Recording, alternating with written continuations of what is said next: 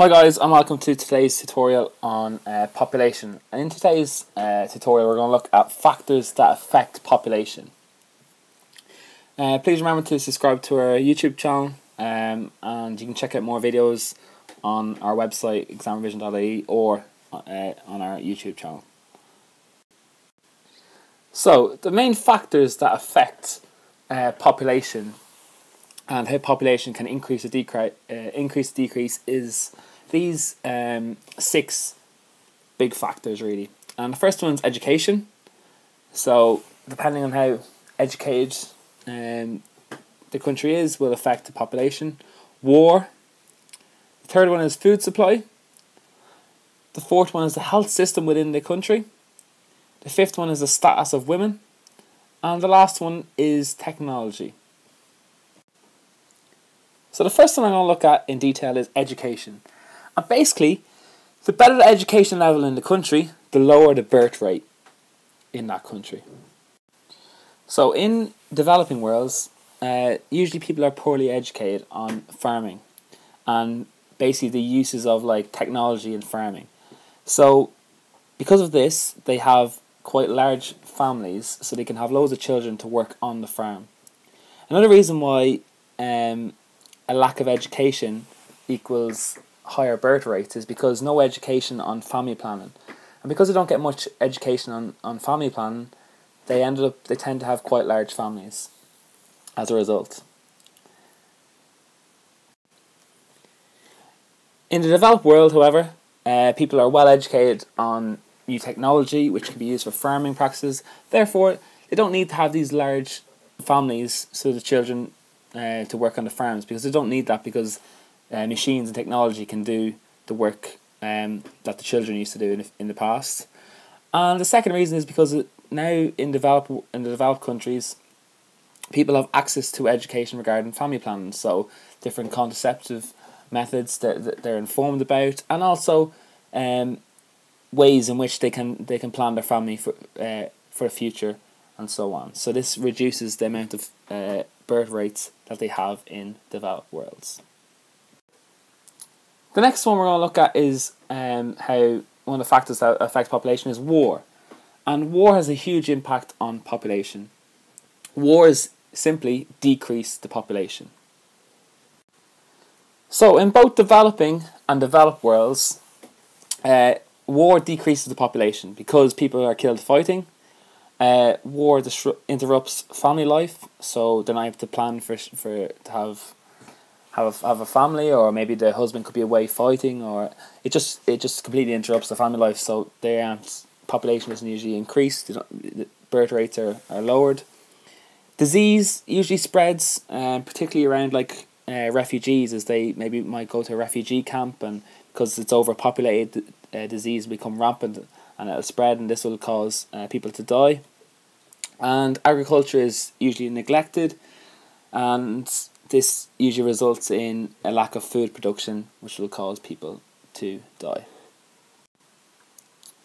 The next factor we're going to look at that affects uh, population is the food supply. Usually an increase in food supply will increase the population and a decrease in the food supply will decrease population. It's nice and simple, increase in food supply will increase population, decrease in food supply will decrease the population. So, food supply in developing worlds. Um, usually, the food supply in developing world is quite low because there's a lot of uh, subsistence farmers, and what a subsistence farmer is is that they just grow enough food to feed themselves, and sometimes maybe because of a lack of a crop might fail, they don't even have enough to feed themselves. A decrease in food supply will decrease the, the population. Also, in developing worlds, they grow a lot of cash crops and cash crops are just for export, and they're usually goods, uh, products such as coffee, coffee beans, so they can export it to developing countries to make money. So by having a lot of cash crops, this doesn't really increase the food supply in the country because they create the, the cash crop, such as a coffee bean, and then you just export to the developed countries. So it doesn't actually create any uh, surplus of food supply for that co- for that country. Therefore, it will cause a decrease in the population. However, in the developed worlds, there's a surplus of food.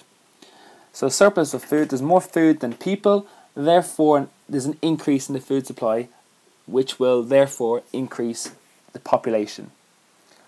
Also, they create a wide variety of food, which will increase health. And if health increases because they've got a wide variety of different types of food, they get all the different nutrients that a body a person needs. Well, then the, this will increase uh, the population as people will live longer and people will uh, and the overall population will will increase. The fourth factor that affects population is health system. And when the health system in a country is improved, there's a decrease in the death rate. Um, and if their health system is weakened, then there's an increase in the death rate. So in the developing world, um, because of poorer health system, thousands die each year from curable diseases such as cold, malaria, measles, diarrhea, and overall that gives the, the developing world country a high mortality rate. However, in developed countries, they have excellent medical systems, and because their health systems are so good, there's a lower mort- mortality rate amongst humans.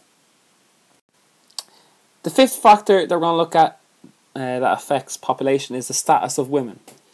And the status of women is a very important role uh, within society and is a huge uh, factor that affects population. The more status that the woman has within society, this generally the smaller family that she will have. The lesser status that, she, that the woman has within society, usually the larger family that she will have. So in developing worlds, uh, usually the role of, of the status of woman is much lower, and they usually have very traditional roles. And women in these countries are usually expected to mind the children, to stay at home, to cook the meals, and to sow the crops. So usually, uh, women that are living in developing countries have, because of their status, they have much larger families, and their role is basically just to look after the children. However, in developed countries, women are much more uh, better educated.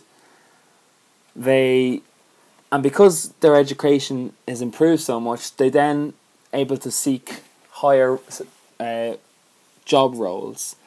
And because of the higher status, they then go and get those higher job roles. And because of the pressures and the time it takes to maybe run these uh, like these jobs, they don't have as much time to look after a larger family, so they usually have a smaller amount of children. So the next factor we're going to look at is uh, technology. And technology affects population because usually in more developed countries, the better they have better t- technology, and the more improved the technology is within a country, usually the less reliance they need to, uh, on, on children. So usually the population is smaller. In poorer countries, they're not so uh, technology uh, technologically advanced, so usually they have larger families, more increase in population because they need the children to work on the farms. In developing worlds, um, traditional farming is, is usually practiced quite quite frequently, and that means that they need more children. So because their lack of, of technology um, and their traditional methods in farming, they need more children to, to help out and to work on the farm. However, in developed countries, uh, they have much more developed technology, technology, and this enables them to have less uh, children and smaller family size because they don't need as many children for the labour on the farm. However, one thing to note is that technology doesn't always reduce family sizes. Sometimes technology can help increase uh, population because um, the advancements in technology can increase the, food supply, such as dams for irrigation, which will increase the food supply. Example of, the, of a dam might be the Hoover Dam in, in USA. Um, and if they increase the food supply, this will therefore increase the population and another thing is um, technology can also save people's lives um, because of technolog- technological advancements. Um, this is used in many different uh, surgeries, and it can be maybe technology that can be Im- embedded within within uh, a human's body, such as maybe a heart monitor or heart pacer or something like that, and that can also increase population.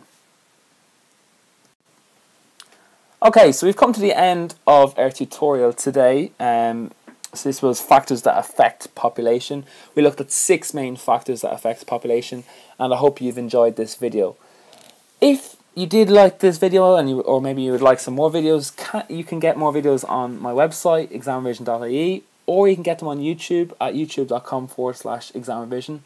Please, guys, can you um, give me some feedback? Um, you can do this on my uh, website page, or even easier, you can just do it on the YouTube by leaving a comment below, and um, maybe telling me things I can improve on, or maybe telling me if you liked it or if you found it helpful. I really appreciate all the feedback that I do get. And you can also follow us on Twitter and Instagram at Exam Revision for you. Thank you.